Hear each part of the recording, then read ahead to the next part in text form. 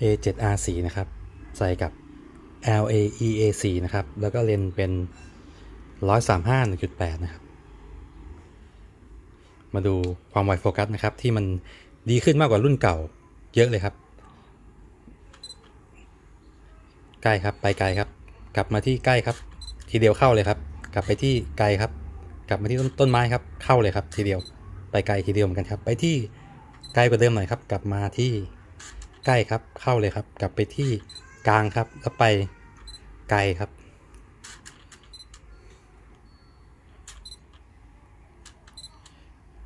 ถือว่าโฟกัสดีกว่าเดิมเยอะมากครับกับ Body A7R4 นี่นะครับ ปกติ LAEA4 เนี่ยเมื่อใส่กับกล้องรุ่นเก่าๆ พวก A72 A73 นี่ครับ ผมว่าโฟกัสมันยังทำได้ไม่ดีเท่ากับใส่กับ A7R4 เนี่ยครับ อันนี้ก็เลยมาทดสอบให้ดูครับว่า โฟกัสมัน